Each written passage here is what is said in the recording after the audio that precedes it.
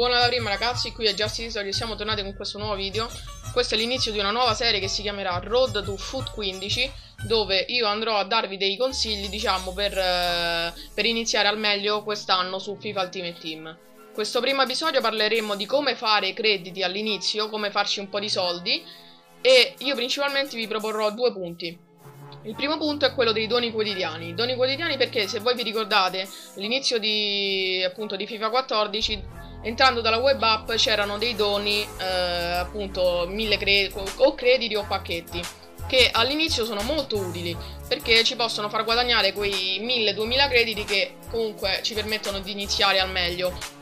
Eh, quello che vi consiglio io a riguardo eh, appunto è quello di farvi più account possibili in modo da ricevere più doni quotidiani possibili. Per esempio voi vi fate anche, anche un altro account, due account vanno più che bene. Vi fate un account principale, poi ve ne fate un altro eh, dove ricevete i doni quotidiani e ve li passate sull'account principale. Eh, questo vi, vi, frutterà abbastanza all'inizio. Io mi ricordo che l'anno scorso questo modo ci fece circa 20-30 mila crediti, che non è poco all'inizio, anzi. Un altro, punto fondamentale è quello della compravendita. La compravendita perché se voi vi ricordate fino a dicembre dell'anno scorso la compravendita si faceva proprio facilmente. Io mi sono fatto veramente centinaia, centinaia di migliaia di crediti con la compravendita. Poi sono usciti gli autobuyer e è andato tutto a puttane. Va bene, dettagli. Comunque credo che appunto all'inizio di Foot 15 gli autobuyer per Foot 15 non siano ancora stati creati ideati e comunque spero che l'EA Sports metta dei freni a questi autobuyer che altrimenti eh, è impossibile fare compravendita. Comunque all'inizio voi dovete cercare di puntare su giocatori poco conosciuti, prenderli a meno, a poco e rivenderli a tanto. Sembra, sembra scontata come cosa, ma vedrete che all'inizio di FIFA 15 vi frutterà parecchi crediti e non poco. Eh, quindi questi due punti fondamentali sono per farsi dei, dei crediti che comunque poi vi serviranno per fare, eh, per fare la squadra. Adesso parlando della squadra, la squadra all'inizio eh, voi non dovete puntare a nomi blasonati perché comunque costeranno veramente tanto.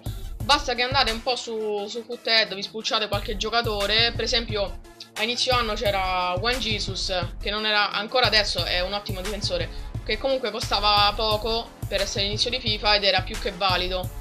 Quindi io vi consiglio appunto andare su Foothead, vi spulciate qualche giocatore, vedete, ah questo difensore ha 75 di velocità, va bene, allora potrebbe servirmi. Vediamo quanto costa, costa poco, se è conveniente prendetelo, perché ovviamente vi faccio un esempio, Caceres a inizio anno mi sembra che costasse 4-5 mila crediti perché aveva 81 di velocità e quindi eh, non era nemmeno il difensore più forte, quindi vi posso lasciare immaginare quanto saranno alti i prezzi.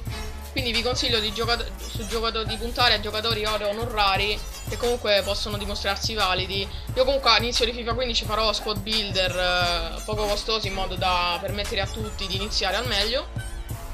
E niente ragazzi, eh, io vi ho dato alcuni consigli, poi fatemi sapere qui sotto nei commenti se vorreste che parlassi di qualcos'altro, sempre riguardante FIFA 15. Ah, un'altra cosa che volevo aggiungere, All'inizio, se voi avete crediti, è conveniente, se così possiamo definirlo, aprire pacchetti, perché anche i giocatori più scarsi, eh, oro non rari comunque, varranno, varranno molto, perché ce ne saranno pochi sul mercato, che ovviamente all'inizio eh, non tutti iniziano appunto tra 15 giorni uscirà la web app e non tutti inizieranno subito con la web app, alcuni aspetteranno l'uscita del gioco quindi, se voi aprite, eh, vi trovate 7500 crediti che vi avanzano, anche 5000, aprite un pacchetto e eh, ci guadagnate probabilmente, perché i prezzi, come, come ho detto già, saranno molto alti.